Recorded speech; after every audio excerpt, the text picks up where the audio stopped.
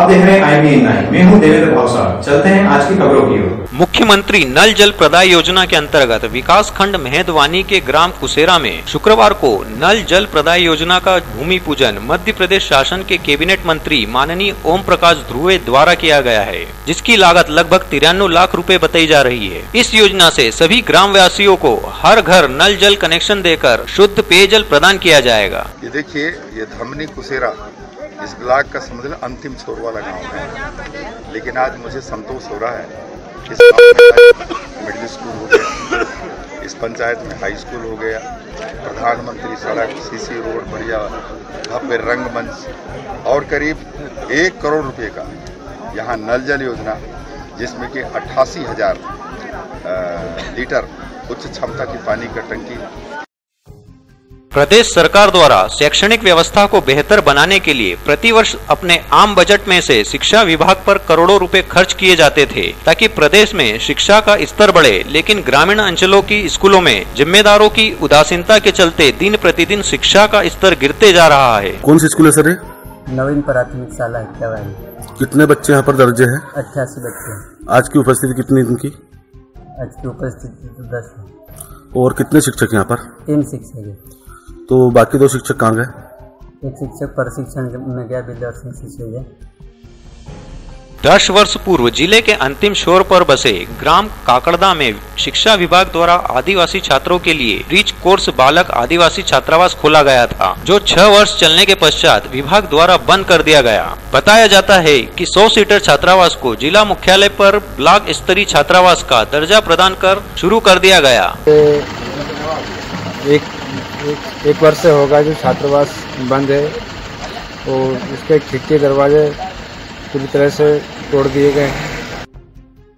देवास ज़िले के अंतिम छोर पर खातेगांव नगर परिषद ने जरूरतमंदों को प्रधानमंत्री आवास की सौगात दिलाकर गरीबों के चेहरे पर खुशियाँ ला दी। सैकड़ों परिवार जिनकी आर्थिक स्थिति इतनी अच्छी नहीं थी कि वह जीवन में कभी पक्के मकान बनाकर उनमें रह सकते थे। लेकिन प्रधानमंत्री आवास योजना ने उन जरूरतमंद गरीबों को भी पक्के मकान की सौगात प्रदान करवाई। मोटरसाइकिल पर बैठकर विधायक आशीष शर्मा हितग्राहियों को प्रधानमंत्री आवास में बने अपने नवीन भवन में गृह प्रवेश कराने हेतु पहुँचे।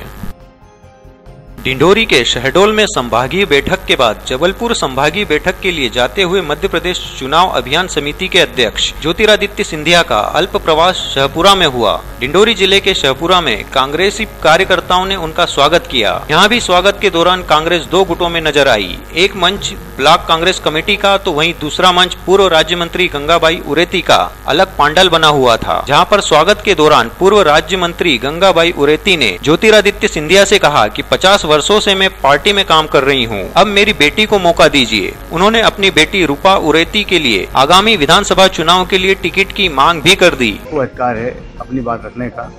माँ ने अपनी बेटी के लिए टिकट मांगा है। तो उनका अधिकार है, उन्होंने भी कांग्रेस की सेवा की है और कांग्रेस ने हमेशा उनको अवसर दिया है। और टिकट मांगना हर व्यक्ति का अधिकार है जो कांग्रेस संगठन के लिए काम कर रहा है, लेकिन संगठन जिसको टिकट देगा, सारे लोग मिलकर उसको जिताने के लिए काम करेंगे। ढिंडोरी के रास्ते उड़ीसा से यूपी के लिए अंतर्राज्यीय गांजा तस्करों के द्वारा तवेरा वाहन में एक बड़ी खेप गांजा ले जाते हुए दो आरोपियों को पुलिस ने गिरफ़्तार किया है। पुलिस ने आरोपी गांजा तस्करों के पास से लगभग दो क्विंटल गांजा बरामद किया है। जब्त गांजे की कीमत 20 से 30 लाख रुपए बताई जा रही है। पुलिस ने बताया की आरोपी तवेरा वाहन में सवार दो युवक उड़ीसा ऐसी छत्तीसगढ़ के रास्ते ऐसी गांजे की खेप लेकर उत्तर प्रदेश ले जा रहे थे, जिन्हें मुखबिर की सूचना आरोप डिंडोरी पुलिस ने फिल्मी अंदाज में पीछा कर धर दबोचा पहुँचा है? दोनों दो लोग गांजा लेके आ रहे थे। फजल मोहम्मद और राजेश। फजल जो है सतना के हैं और राजेश पन्ना के हैं। ये उड़ीसा से गांजा लेके आ रहे हैं। तीनों को प्रोसेस भी किया जा रहा है। जी हाँ बिल्कुल। डिंडोरी के सिटी कोतवाली में हत्या के आरोप में पूछताछ के लिए लाए गए सिंधोली गाँव के कुछ युवकों में से एक युवक देलाल की पुलिस अभिरक्षा में 1 जनवरी 2017 को मृत्यु हो जाने पर आक्रोशित ग्रामीणों ने भारी हंगामा कर दोषी पुलिस कर्मियों को गिरफ़्तार कर उच्च स्तरीय जाँच की मांग की थी। पुलिस अभिरक्षा में हुई युवक की मौत की तीन अलग अलग एजेंसियों ऐसी जाँच कराई गई सीआईडी जाँच में प्रारंभिक तौर आरोप दो पुलिस कर्मियों को दोषी पाया गया, जिसमें ऐसी एक आरक्षक घनश्याम द्विवेदी को आज सीआईडी पुलिस ने सिटी कोतवाली कोतवाली से गिरफ़्तार कर न्यायालय में पेश किया जहाँ से उसे जेल भेज दिया गया। वहीं एक इंस्पेक्टर की भी गिरफ्तारी की बात कही जा रही है। साल एक कस्टोडियल डेथ हो गई थी। उसमें दो आरोपी हैं उनको गिरफ़्तार किया गया है सीआईडी के द्वारा और इसमें आरोपी हैं अभी हाल फ़िलहाल दो ही आरोपी हैं उनको गिरफ़्तार कर लिया सीआईडी ने जो युवक की मौत हुई थी कौन था क्या प्रोफ़ाइल था इससे? जिसकी कस्टडी में डेथ हुई थी हाँ।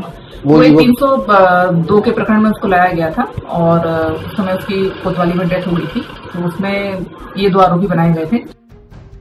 लड़की ने चप्पलों से की मंचले की पिटाई कोतवाली थाने पहुँचाया लड़के को। आरोपी शेख नदीम जो लड़की का रोज पीछा करता था कल शाम भी लड़की का पीछा किया और जब लड़की अपने घर के पास पहुँची तो लड़के से पूछा कि मेरा पीछा क्यों कर रहे हो? लड़के ने लड़की का नाम पूछा। इसी बात को लेकर लड़की ने अपने आसपास के लोगों को साथ लेकर लड़के की पिटाई शुरू कर दी। युवक को कोतवाली थाने लाया गया, जहाँ पुलिस ने तीन सौ चौवन का मामला युवक पर दर्ज किया। शाम को ये सूचना मिली थी कि राजघाट के आसपास कहीं लड़की का किसी ने पीछा किया।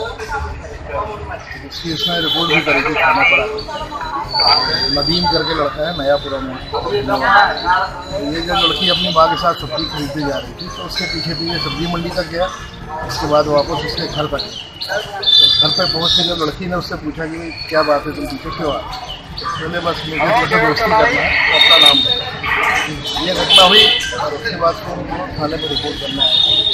तो अपराध धारा तीन चौवन बी का पंजीबद्ध किया गया। आरोपी को गिरफ़्तार किया ढिंडोरी में आयोजित मुख्यमंत्री बकाया बिजली बिल माफ़ी योजना कार्यक्रम में मंत्री ओम प्रकाश ध्रुवे सरकार की उपलब्धियाँ गिनाते गिनाते बदजुबानी कर बैठे। सत्ता के नशे में चूर मंत्री जी ने जब मंच से बोलना शुरू किया तो कांग्रेसियों पर अपशब्दों और गालियों की झड़ी लगा दी। मंत्री कांग्रेस को कोसते हुए यह बताना चाह रहे थे की कांग्रेस ने कभी गरीबों और आदिवासियों का विकास नहीं किया। उल्टा पंद्रह लीटर शराब बनाने की छूट देकर आदिवासियों को ठगने का काम कांग्रेस ने किया है।